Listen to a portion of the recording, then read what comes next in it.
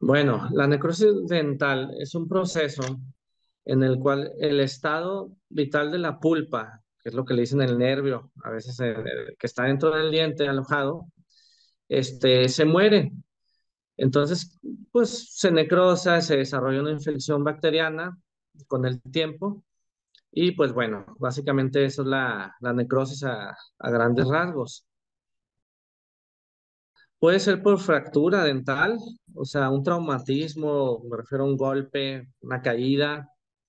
También puede ser por una caries que nunca se atendió, la caries proliferó, se hizo profunda.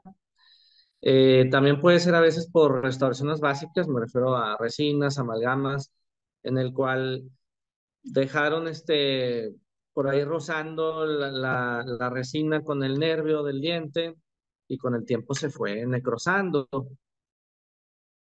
Bueno, los síntomas pues son bastantitos y hay que tener este mucho ojo en eso. Eh, uno de los más comunes es el dolor al masticar, ¿ok?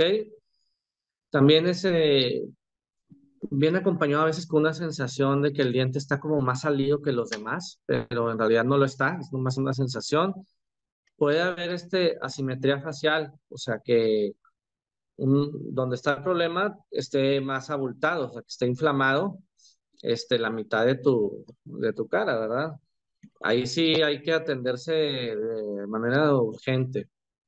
Este, también puede haber abscesos. Eh, en la encía se forman, este, como unas, eh, como si fueran unas espinillas, pero pues es un absceso dental.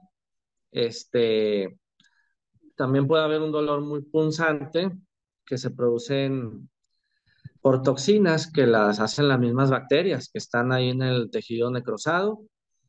Cefaleas también, que es dolor de cabeza. Y a veces también hay dientes que se empiezan a oscurecer. Y eso es porque ya no hay irrigación sanguínea en ese diente, porque el tejido pulpar está, está necrótico, está muerto.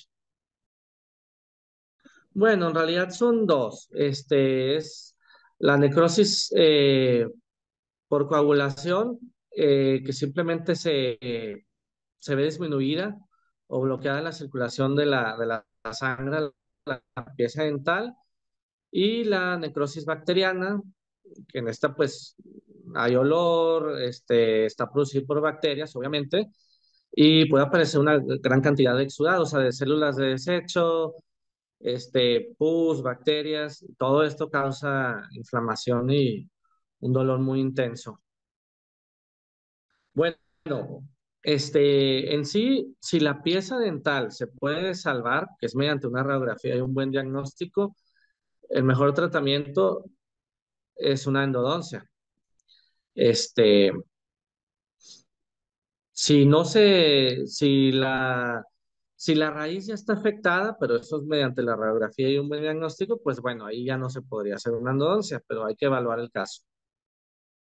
Bueno, este, con un endodoncista definitivamente, este, si, bueno, hay, hay a veces este, dentistas que no son endodoncistas, hay que mencionarlo, y que, que hacen en- endodoncias, puede, tal vez lo pueden hacer bien, pero generalmente tiene que ser con un endodoncista, porque si no puede haber problemas posteriores.